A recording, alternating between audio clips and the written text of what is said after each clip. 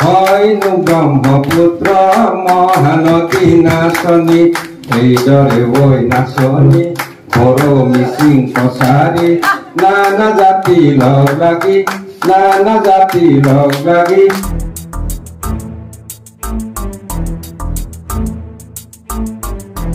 সারা রাজ্যের সাথে শনিবার শিলচরেও পালিত হলো বহাগ বিহু উৎসব। অসম সাহিত্য সভা শিলচর শাখার উদ্যোগে শনিবার দিনভর নানা অনুষ্ঠানের মাধ্যমে বিহু উৎসব পালন করা হয়।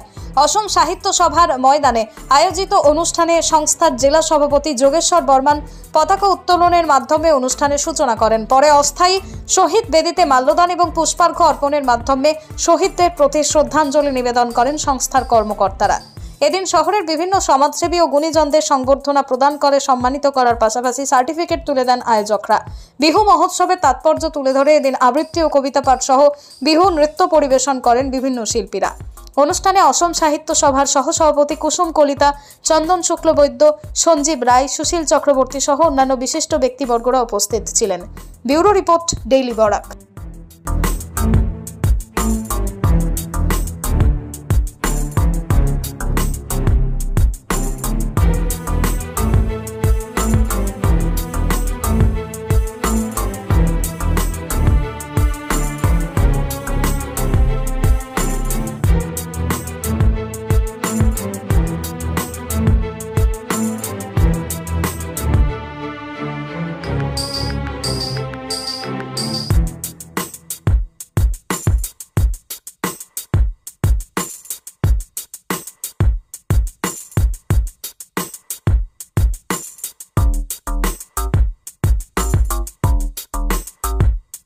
আজি বিহু বৈশাখী বিহু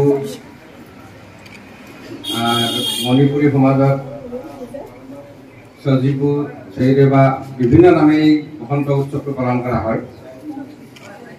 আপোনাক মনত এটা ব্যক্তিগত অভিজ্ঞতাৰ কথা কৈছোঁ। ঊনৈছশ দুহেজাৰ আঠ চনত মই এবাৰ বেংকক এয়াৰপৰ্টত আমাৰ ফ্লাইট চেঞ্জ কৰিব লগা আছিলে। বেংকক এয়াৰপৰ্টত এখন নিউজ পেপাৰ পালোঁ। Shanghai daily Shanghai daily news পেপাৰত ফ্ৰণ্ট পেজত অসমৰ বিহু উৎসৱৰ এটা ফটো লিখিছিল তাত লিখিছিলে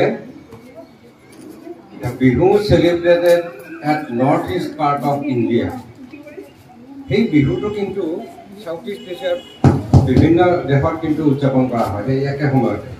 বহু নদী লগ লাগি হয় নোবা ব্ৰহ্মপুত্ৰ মহানদী নাচনী দিহিং দিচাং দিখো জাজি ধন হিৰি বহু নদী লগ লাগি বহু নদী লগ লাগি হয়নো ব্ৰহ্মপুত্ৰ মহানদী নাচনী এইদৰে ঐ নাচনী বড়ো মিচিং কছাৰী নানা জাতি লগ লাগি নানা জাতি লগ লাগি হয়নো অসমীয়া মহাজাতি নাচনী বিহু এটা সমন্বয়ৰ প্ৰতীক যেনেকে বিভিন্ন নদী উপনদী আহি পেলাই ব্ৰহ্মপুত্ৰ হৈ ঠিক তেনেকে বিভিন্ন জাতি জনগোষ্ঠী মিলি এটা মহাজাতি অসমীয়া জাতিৰ সৃষ্টি হৈছিলে।